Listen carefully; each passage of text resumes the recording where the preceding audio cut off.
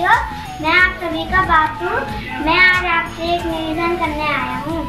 आज इस देश में लड़ाई झगड़े हो रहे हैं जो मेरे दिल को क्षति पहुँचा रहे हैं जिससे हमारी भारत देश की एकता का अंत हो रहा है। आप सभी से मेरा अनुरोध है कि कि आप हमारे देश की एकता बनाए रखें क्योंकि एकता में बल होता है। जय हिंद जय Bharat. Hello everyone, this is Kavya. Today I will tell you about 2nd October. We all know that on 2nd October we celebrate two birthdays, Gandhi ji and Lal Bahadur Shastri. First we will talk about Lal Bahadur Shastri. Lal Bahadur Shastri was born 2nd October 1904 at Mughal Sarai, Uttar Pradesh, India. Now we will talk about Gandhiji. Gandhiji was born 2nd October 1869. He was the father of the nation. This day is celebrated as Gandhi Jayanti every year in India. Let us celebrate Gandhi Jayanti and Lal Bahadur Shastri the birth anniversary with peace and non-violence. Let's all be proud of Indians. Thank you.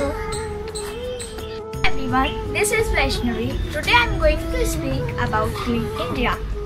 This mission has started on 2nd October 2014. Did you know how many diseases are spreading in our uh, India by walking on a road? So many people are splitting, throwing garbage on the road. These things are very harmful for us. A great person, Mahatma Gandhi ji, had said, cleanliness is far in- more important than the freedom.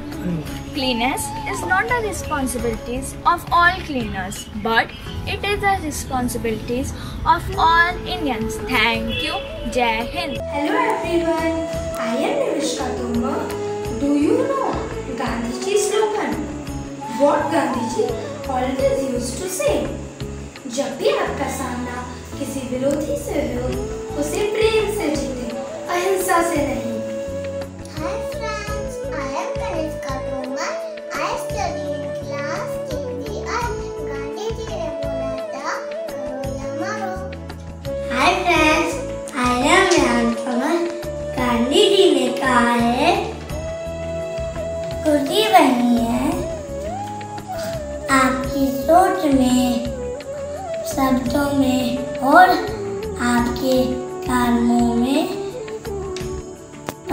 Oh!